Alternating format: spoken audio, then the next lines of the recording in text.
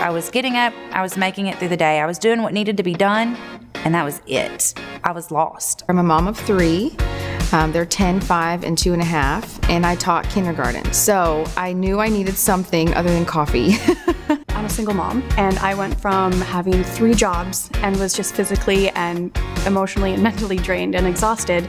I have three kids. I wasn't there for them the way they needed me to be. I was there as the adult, as the one that set rules, but not one to support them, whether it be with schoolwork or their ambitions or what they were going through. Just not healthy. My coffee ran my life. I wasn't eating well. Um, I didn't feel good at all because I was always tired and I was always just run down. I saw my friend going on mental clarity, so much energy, and I'm like, yeah, that must be nice. So when I saw my friend posting, I thought, let me try it. I have nothing to lose. And if it doesn't work, it doesn't work. But if it does, hey, you know, and I finally got to a point where I was like, okay, everything that she's claiming she has are the things that I'm actually lacking and I need. So I was like, tell me about it. I got a five day trial pack. I started with that, and I didn't take a nap that day halfway through my first day was just completely overwhelmed with this is what I need. It's really hard to describe. I still had that energy in the evening with my kids. It's kind of like this little cloud, just happy and not grumpy and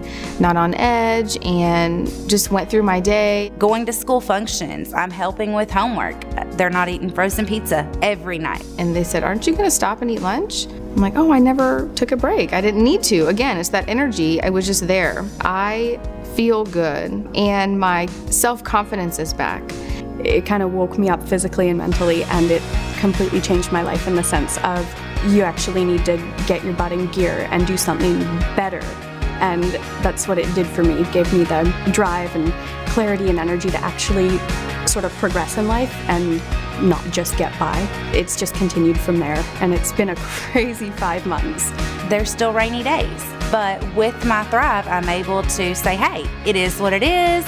You know, let's go play in the rain. Let's not hide inside. It's amazing. My my everything has changed. Our relationship is better because we don't just pass out on the couch after we put the kids to bed. You've got to experience it. It's really something that has to be experienced. It can't be described. Once you try it, you're going to know what we're all talking about. You don't know what you're missing, and you have to try it. You deserve it. Give it a try. Like, what do you have to lose? You upgrade your home, you upgrade your car, you upgrade your computer software why not upgrade yourself?